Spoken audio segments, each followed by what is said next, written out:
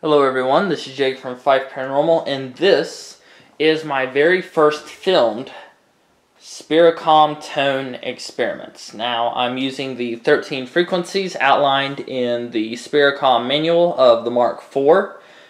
So, as you can see, I have my laptop set up, and I'm using a tone generator software to generate the 13 tones. And then over here on an elevated position, I'm actually holding it up here for you to see, is the rod of a diode. I'm going to go ahead and run the diode with the tones, you know, just to see what will happen.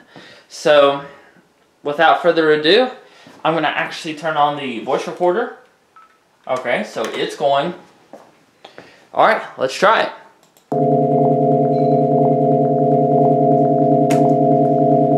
Alright, hello, is there anyone here with us tonight? With me tonight? A few years ago, I was browsing the internet on a boring day with nothing going on. I was listening to music on YouTube as I searched the internet for my next paranormal research project. I then stumbled upon something from the 1970s that caught my attention immediately and altered the course of my paranormal research for the next year. I would go on to develop my own version of the Spiricom and would track down the last known Spiricom in existence to bring my research full circle. In this essay, I will give a brief history of the Spiricom device and the use of frequencies to speak to spirits, my research, and experiences with frequencies, as well as my final thoughts and the future of my frequency experiments. The Spiricom came into existence in 1979 with the partnership of Bill O'Neill and George Meek. The device uses 13 frequency generators set to certain tones hooked up to a larger machine that was also hooked up to a microphone so the investigator could speak to the spirits. It basically works like a modern day spirit box. You just, you know, it has real time communication and all that stuff. The spirits use the energy generated to speak to us and, like I said, can be heard in real time. Many recordings of the Spiricom can easily be found on the internet, and the evidence is very interesting. Meek and O'Neill would work on many other paranormal devices that played with the idea of using frequencies to communicate with spirits and other supernatural beings. In fact, it was almost common knowledge in the paranormal community at the time that you had a better chance of communicating with spirits using frequencies than by using white noise. Many other well-known investigators and researchers such as Konstantin Raudive, Frederick Jürgenson used frequencies in their recording equipment to record voices of the dead. It wasn't until later that people started to prefer using white noise than frequencies during investigations, but the idea of using frequencies is making a comeback, I believe. I saw an episode of Ghost Adventures recently where they were using infrasound and other frequencies to communicate with spirits. Modern paranormal equipment owes a lot of credit to the Spiricom for bringing the idea of real-time spirit communication to the forefront of the paranormal community. I realized pretty quickly after reading about the Spiricom that I could create a similar device using a tone generator software I found on the internet. This is not a Spiricom at all, but it uses the same principles that made the Spiricom unique. So I downloaded the software, checked for viruses of course, and then plugged in the 13 frequencies into the generator and waited to see what would happen. Surprisingly, it worked. It didn't sound exactly like the Spiricom, but it was close enough, and it generated extra energy into the environment that could be used in other ways for investigations. My first few tests weren't anything to write home about, and they were pretty boring to be honest. I was able to prove that the device did give off added energy using my K2 meter, and I noticed that the energy of the room felt differently when the frequencies were in use. After playing around with some of the frequencies, I decided it was time to do a full session with the device. I decided to call this experiment the FifeCom sessions, and I set up my equipment for a session one su Sunday afternoon. I had the FifeCom, a voice recorder, candle, and a spirit box nearby just in case.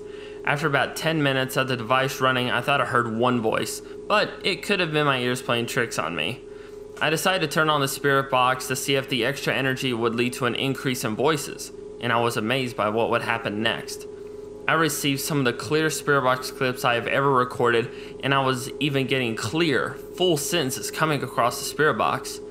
I would do a few more sessions over the next few months, but I wouldn't make any more breakthroughs. I did use the FifeCom on our investigation of the manor house in Williamsburg, but I wouldn't get anything to come across. I did succeed in annoying the other investigators with me though, so, you know, at least the device did something. After the investigation, I took a break from my experiments, but I did one final session in September 2019. Since then, I have not done anything with the frequencies or the FifeCom, but I'm still researching how frequencies affect energy in a physical environment, and I think I know how to make the device more effective. I plan on using the FifeCom on our next investigation, and hopefully I will record my first voice over the frequencies on that investigation. So what are my thoughts on the Spiricom and the idea of using frequencies to communicate with spirits?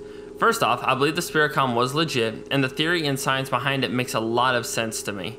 I really like the extra energy that is pumped into the environment, and I believe this can lead to an increase in EVPs and spirit box clips, as well as the spirits being able to make themselves known during an investigation. I would love to build a full Spiricom one day using the original blueprints that can be found online just to see what would happen if you used one on an investigation in a location that is said to be full of paranormal activity. I did not stop my experiments because I didn't get results. I stopped them because other ideas and experiments came to my attention and I shifted focus on other projects so that I wouldn't become narrow-minded in my research as an investigator. I like to have knowledge of many different approaches to investigations so that you can view the paranormal from several different perspectives. In my opinion, I think this makes you a better investigator and you never know what will and what won't work for you. I will continue to work on my frequency experiments, and in fact, I have recently started doing experiments with infrasound, and I'm intrigued by the potential that infrasound has on increasing paranormal evidence collected on an investigation. So, what are your thoughts on using frequencies on investigations rather than white noise? Have you done similar experiments, or what are some ideas you have that might help me with my experiments? I hope you all have learned something from this article, and maybe this will lead you to do your own investigation into other ways to communicate with spirits. I will record my next FifeCom session, and hopefully I'll make a breakthrough in my research soon. Thank you all for watching this video. Leave a like if you enjoyed it, don't forget to comment, and have a great day, everyone.